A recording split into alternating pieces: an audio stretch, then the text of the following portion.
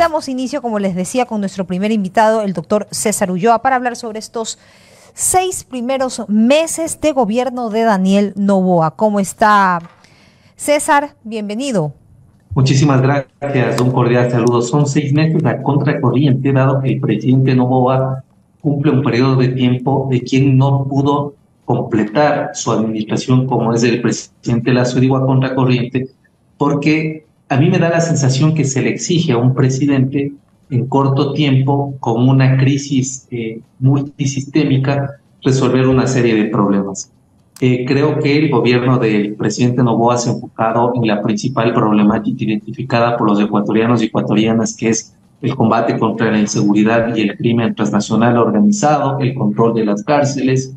Para ello ha afincado su liderazgo en una alianza eh, aplaudida por la ciudadanía que es caminar de la mano con las Fuerzas Armadas, una institución que históricamente desde la transición a la democracia tiene los índices más altos de aceptación y credibilidad, y tratar de reforzar este, esta acción que tienen las Fuerzas Armadas con la Policía Nacional. Sin lugar a dudas, en poco tiempo tampoco se puede exigir que replantee la realidad en su totalidad, pero vemos que en términos, por ejemplo, macroeconómicos hay un descenso de, de, de los puntos de riesgo país y hay una suerte de iniciativas a nivel de comercio exterior, de iniciativa público-privada para generar empleo y en ciernes un plan social que, insisto, tendrá que mirarse cómo se comienza a implementar en los seis meses que le quedan en este periodo corto de tiempo. Doctor, vamos a ir punto por punto. Usted acaba de hacer un resumen de, de lo que se trató de lo que dijo el presidente el día de su rendición de cuentas. Pero vamos a ir punto por punto para esclarecer, porque así como hay muchas personas que están a favor de este gobierno, también hay muchas personas que están eh, detractores, ¿no? Y que incluso sacaron después de este discurso algunas cifras de diferentes temas que no concuerdan con lo que dice el gobierno, con lo que dice el primer mandatario versus la realidad. Yo, o sea, aquí no estoy de parte del presidente ni en contra del presidente, pero vamos a ir analizando para despejar las dudas de acuerdo a algunos puntos que yo tengo aquí señalados y que también he visto en algunos medios de comunicación que han sido planteados. ¿Qué le parece, doctor? A ver. Bueno, a ver, claro. Este tema del golpe de Estado, él dijo que el 9 de enero, durante esta violencia, esta jornada violenta que vivió el país, había una intención de golpe de Estado. Sin embargo, no se ha dicho nada o no se ha podido comprobar que realmente se trataba de un golpe de Estado y los supuestos eh, culpables de, de esta acción. Bueno, un proceso concertado de violencia en sus distintas dimensiones e intensidades. En términos de que se provoca a nivel nacional, indudablemente desestabiliza la democracia porque todo tiene que concentrarse para resolver un problema concreto en términos de que los recursos, el talento humano y todo aquello que cuenta el Estado está enfocado en solo ese tema. Indudablemente es cualquier eh, proceso de violencia a esa escala desestabiliza cualquier gobierno.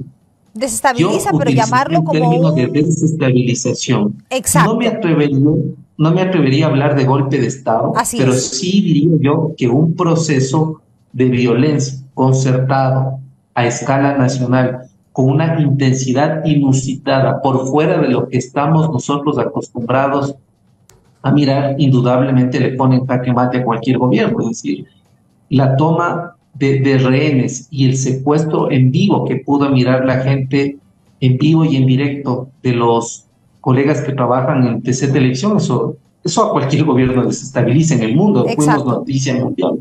Pero de ahí a pasar a un golpe de Estado me parece que hay una distancia enorme, me parece que hay una desproporción. Una exageración. Falta de prolijidad. Sí, hay una falta de prolijidad en el manejo de los términos, pero indudablemente nos ponen alerta porque el Ecuador no estaba acostumbrado a vivir estos hechos de violencia, como se observaron en ese día.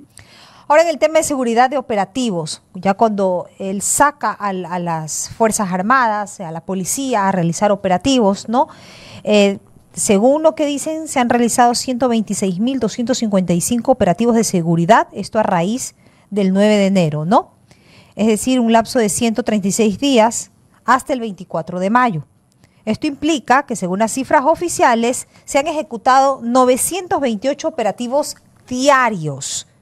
Y en este contexto, el gobierno afirma haber sacado de las calles 34.952 presuntos delincuentes, pero la población penitenciaria es de 32.000. ¿Dónde está el resto?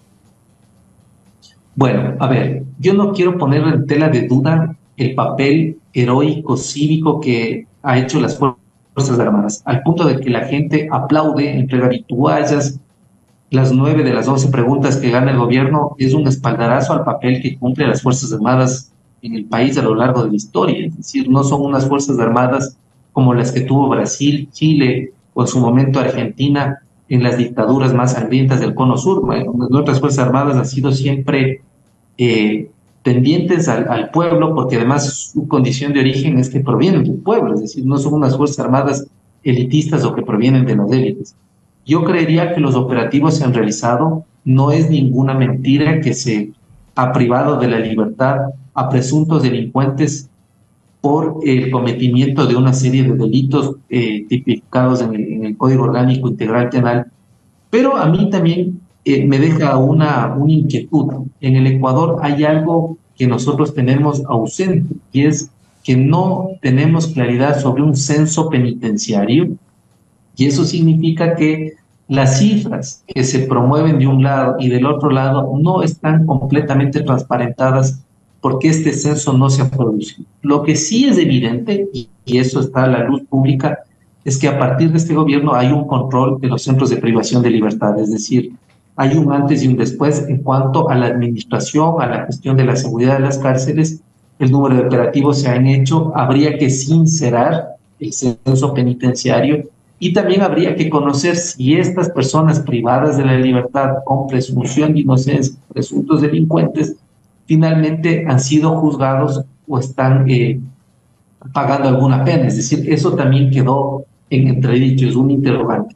A mí me da la sensación que estas cifras le exigen al gobierno en los seis meses que vienen a salir de la narrativa y aterrizar en acciones concretas desde una, desde una lógica más prospectiva a qué va a suceder, por ejemplo, con los eventos de violencia que han recrudecido los, los ánimos de, de, miedo, este ánimo de no salir a la calle, de no ocupar el espacio público.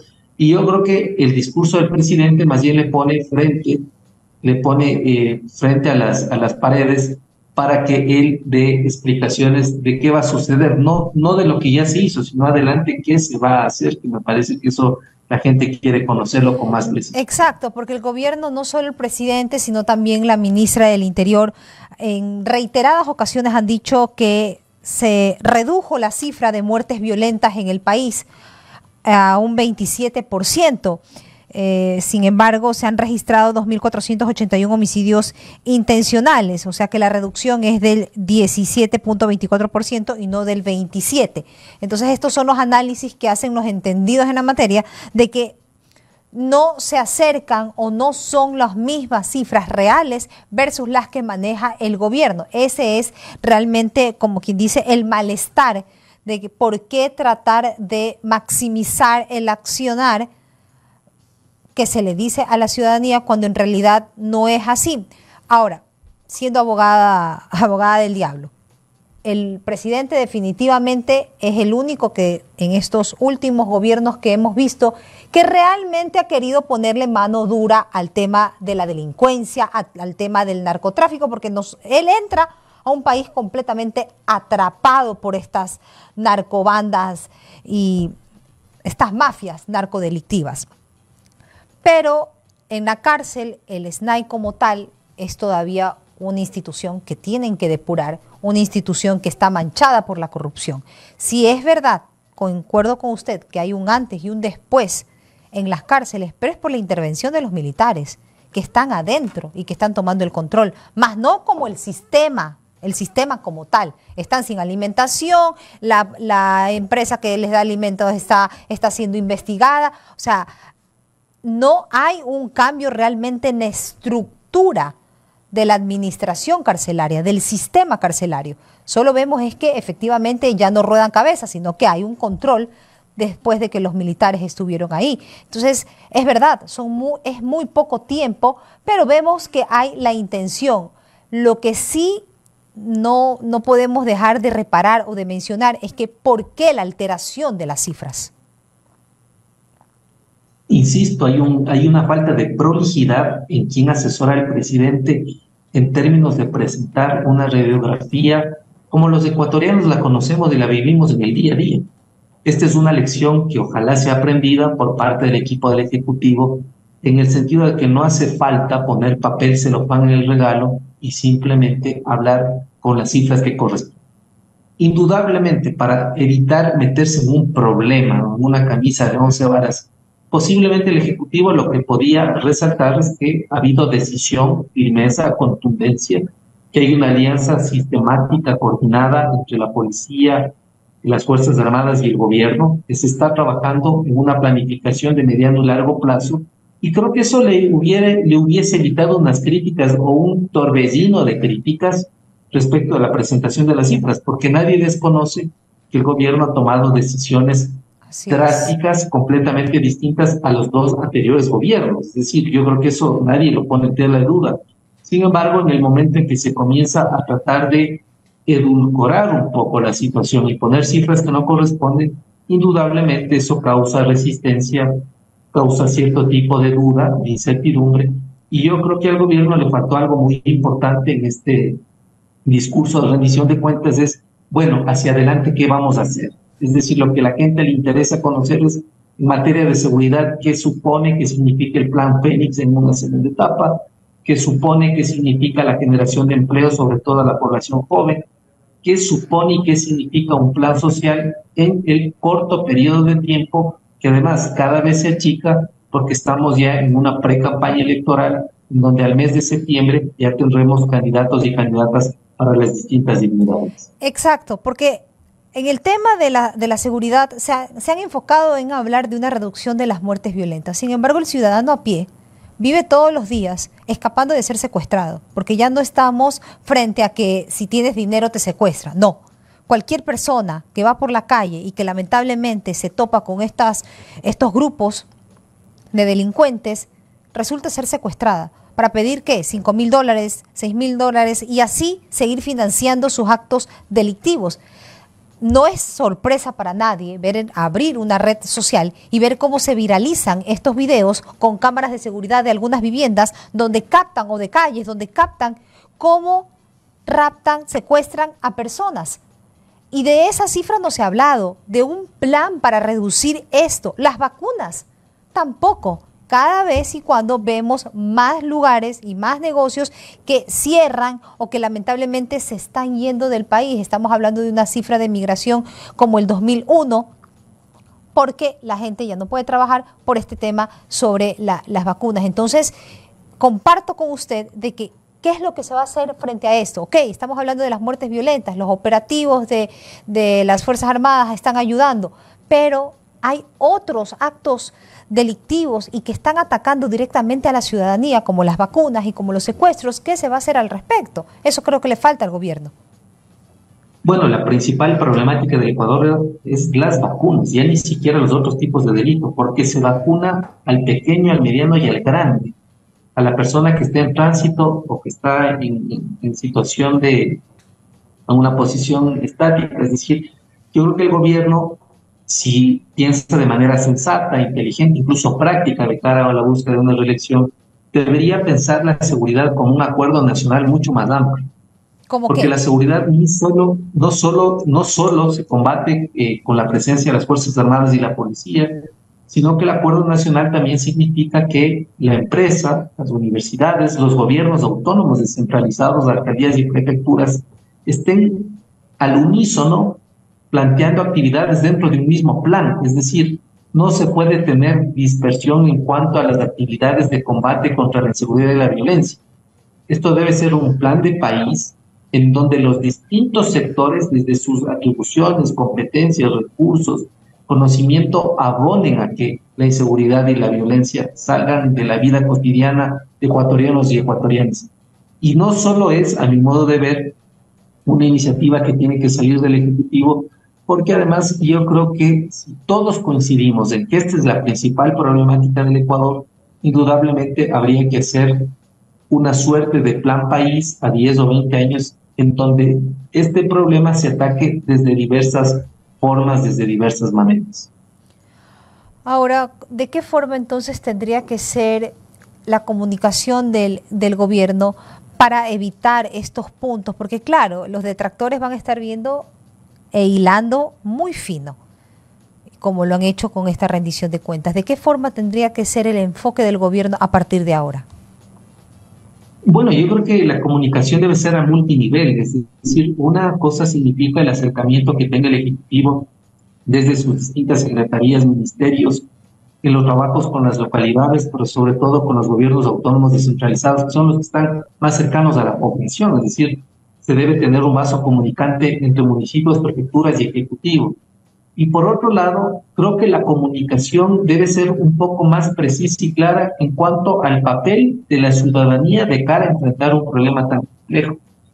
Eh, algo que me parece que no se está haciendo y creo que sería parte de la solución es cómo nosotros comenzamos a rescatar o apropiarnos de los espacios públicos que cada vez están vacíos, que cada vez están menos concurridos, en donde hay cada vez menos gente. ¿Cómo le logramos reavivar o dar vida nuevamente a plazas, calles, canchas, parques? Es decir, yo creo que la lucha contra la delincuencia también tiene que ver con un papel ciudadano que no solo está en armarse, sino también en darnos una posibilidad de, pelear al país. Yo creo que el mensaje es pelear al país, eh, apostar por el Ecuador y en definitiva eh, ser más generosos entre los distintos sectores y dejar que los temas políticos se discutan en la política, pero el tema de seguridad es un tema de supervivencia, de otras características, en donde no debe entrar la política, sino debe entrar más bien el sentido de dignidad,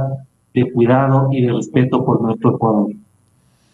Sí, definitivamente. Si no hay seguridad, no se puede trabajar. Si no hay seguridad, no se puede sacar adelante al país en diferentes, en diferentes índoles, tal como usted lo ha estado mencionando.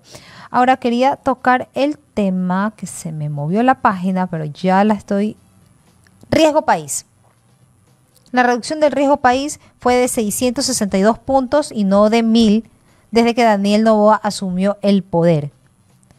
Si se toma en cuenta que las semanas desde que Novoa ganó las elecciones, se señala que fue un valor máximo a la escala del riesgo país de 2.054 puntos, más no los el riesgo país de 1.925 puntos y al 23 de mayo de 1.263 puntos.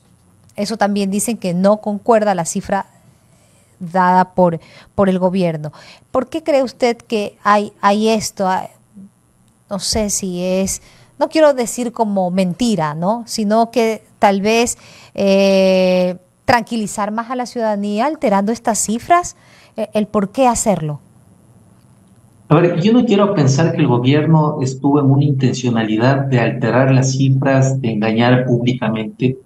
Me da la sensación que en este equipo que ha conformado el presidente con todo el derecho que tiene, posiblemente que ajustar las tuercas hay que buscar mayor precisión en el trabajo de interlocución que tienen las distintas carteras del Estado, porque cuando se hace un informe a la nación, se construye entre varias carteras de economía, seguridad, gobierno, y puede ser que ahí haya cortocircuitos que comienzan a saltar o están siendo identificados en el momento en que comenzamos a mirar las reacciones en la presentación de unas cifras que no coinciden con los observatorios ciudadanos que llevan al día a día el curso de lo social, de lo económico, de lo político.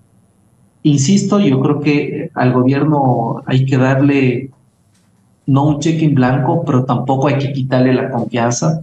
Me parece que es un gobierno con una conformación, además de un gabinete muy joven, donde posiblemente se necesite combinar la experiencia, se necesite combinar la experticia de, de otros personajes y ser más generoso en cuanto a abrir la cancha a que gente con mayor palmarés, con mayor trayectoria, pueda permitir que el presidente en su mensaje o en sus mensajes hacia adelante sea más contundente en el uso de los datos. Creo que el uso de los datos le puede pasar la factura a cualquier persona, como cuando alguien ingresa a navegar a cualquier buscador de Internet y se casa con lo primero que le sale como primera opción. Entonces, yo creo que la búsqueda tiene que ser más prolija, más profesional y que el trabajo en, en, las distintas carteras sea mucho más coordinado para que el presidente no tenga que desgastarse o su equipo desgastarse buscando respuestas de un informe que posiblemente pudo ser mucho más claro, más preciso y menos complicado al momento de la presentación de los datos. Digamos que no hubo tanto cuidado al momento de, de, armar el, el, discurso, las cifras y todo. Como usted dice, es, es un gobierno de mucha gente joven, ¿no? que a la final es la primera vez que están en puestos, en puestos públicos. En todo caso, eh, seguir apoyando y que tampoco se desvíe la atención de lo que tenga enfocado él como plan de gobierno, porque ya vienen unas próximas elecciones. Sin lugar a dudas. Eh, yo insisto, el presidente está rinconado contra las cuerdas porque cada vez el tiempo pasa a una velocidad enorme. Hay, es un país lleno de problemas donde uno camina. Y la búsqueda de la reelección demanda que él y su equipo aterrice sus promesas en corto tiempo en un proceso complicado porque sabemos que las campañas electorales en el Ecuador son de desacreditación, de descalificación, de insultos. Y en medio de ese mare magnum tendrá que aterrizar con cosas concretas y ser mucho más preciso en las decisiones que tome, insisto, hasta agosto-septiembre que arranca ya en el estricto sentido el proceso electoral. Esto en la parte externa, porque en la parte interna recordemos que también está la disyuntiva de quién lo va a reemplazar. Sí, sin lugar, sin lugar a dudas. A mí me da la sensación que ese es un problema que el gobierno no lo ha sabido lidiar desde el inicio. Hay una relación tortuosa, conflictiva, por decirlo menos, con la vicepresidenta y también tendrá que buscarse una justificación lo suficientemente contundente, potente, fuerte, para que los ecuatorianos y ecuatorianas no miren en la relación de los dos mandatarios una ruptura tan fuerte y que esto no le pase factura al presidente al momento de poner su nombre en la papeleta para la reelección. Ojalá que todo le vaya mejor, porque como ecuatoriana, como ecuatorianos, tenemos que apoyar al gobierno que esté en este momento y más aún cuando vemos que ha sido el único que ha tomado la rienda para el tema de seguridad y que estoy segura que tiene las, mejores intenciones, pero en tan corto plazo y con tantos problemas y con esto sobre todo de, de, la preocupación, porque estoy segura que se tiene que estar rompiendo la cabeza de quién lo va a reemplazar, porque en el tiempo de licencia pueden mandar abajo todo, absolutamente todo lo que él ha venido haciendo, hacer y deshacer. Sin duda, el, tema del reemplazo no es algo sencillo porque, insisto, tiene un tiempo corto, intenso, de muchos problemas y con pocos recursos además, porque la situación del país no le permite tener los recursos que se requiere como para ir resolviendo las cosas como corresponde. Muchísimas gracias, doctor César Ulloa, por habernos acompañado el día de hoy en este análisis sobre los primeros seis meses del gobierno de, de Daniel Novoa. Gracias por habernos acompañado. Siempre a sus órdenes. Una buena tarde, muy gentil. Gracias.